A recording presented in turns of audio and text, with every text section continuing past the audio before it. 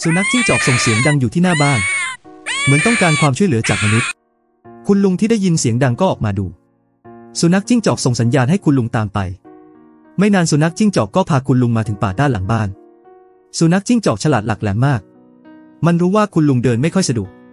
มันจึงหยุดและหันหลังมามองคุณลุงเป็นระยะระยะ หลังเข้าไปในป่าคุณลุงพบสุนัขจิ้งจอกน้อยติดอยู่ในตาข่าย ปรากฏว่าสาเหตุที่สุนัขจิ้งจอกเข้าไปในบ้านของมนุษย์ เพราะมันต้องการให้มนุษย์มาช่วยลูกของมัน คุณลุงก็ไม่รีรอรีบกลับบ้านมาเอากล่องเครื่องมือ ไม่นานคุณลุงก็กลับมาถึง แล้วใช้อุปกรณ์ช่วยลูกสุนัขจิ้งจอก แต่ลูกสุนัขจิ้งจอกเห็นคนแปลกหน้าเข้ามาใกล้ กลับคิดว่าคุณลุงจะทำร้ายตัวเอง มองดูลูกสุนัขจิ้งจอกที่กลัวจนตัวสั่น คุณลุงก็พยายามปลอบมันอย่างอ่อนโยน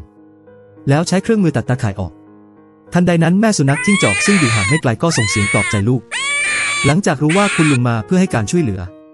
ลูกสุนัขจิ้งจอกก็นิ่ง และยังให้ความร่วมมือกับคุณลุง หลังจากที่คุณลุงพยายามอยู่นาน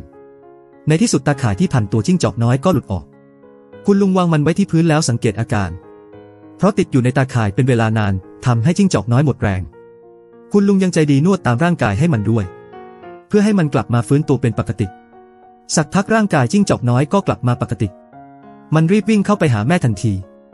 สิ่งที่ไม่คาดคิดคือหลังจากนั้นไม่กี่วัน แม่จิ้งจอกก็พาลูกๆมาเพื่อขอบคุณคุณลุง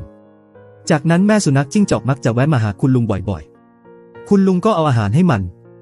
ลูกสุนัขจิ้งจอกในตอนนี้เติบโตแล้ว จึงได้ออกจากฝูงไป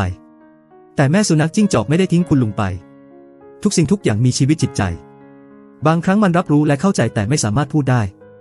คุณผู้ชมช่วยกดหัวใจกดคอมเมนต์ให้คุณลุงและแม่จิ้งจอกด้วยนะครับ